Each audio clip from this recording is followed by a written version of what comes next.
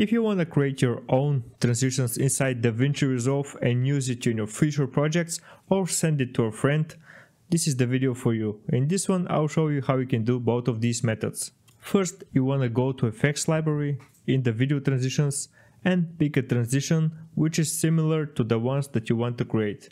In my case I'm gonna make an example with cross dissolve, so I'm placing it in between my clips as a transition and the next step is that I can highlight it and then I can right click it. After right clicking you can select convert in Fusion cross dissolve.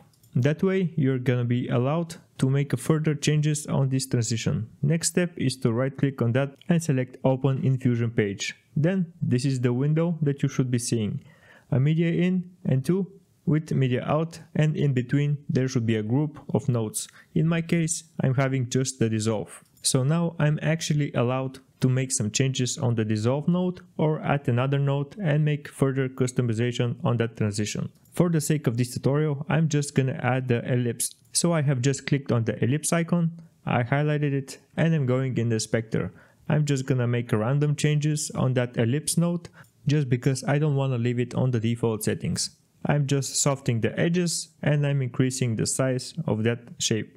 Also, I'm gonna go in the beginning of my timeline, I'm gonna take down the size of that ellipse and make it go wider until the end of that clip by using a second keyframe. And as the clip is going, not only that is dissolving, but it's dissolving inside the ellipse. And what I just did is not so important, I'm just showing that I'm making changes on that transition and assuming that you have also finished making adjustments on your transition, it doesn't matter what kind of changes have you made it, now it's time to save it, so you can right click on the transition and then select create transition preset. After that, you'll be asked to name that transition, I'm typing random dissolve and then selecting OK. And now if you want to use this transition, you need to go to your effects library, video transitions, and you want to go down until you see the user panel. And now in here you can see that I'm having this random dissolve that I have just added. Now I'm deleting the one that I'm already having and I'm adding it again from the video transition panel so you can see that it's the same transition that we just have customized it.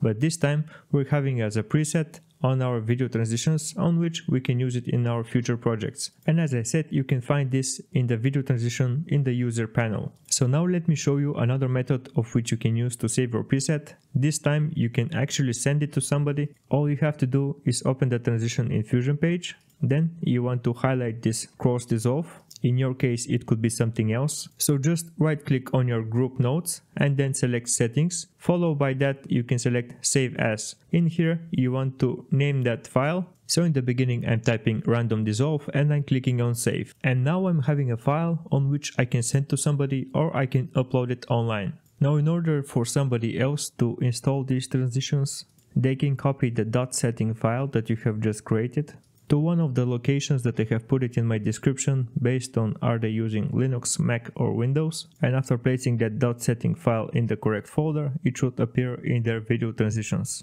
I hope it was helpful, thanks for watching and see you in the next one.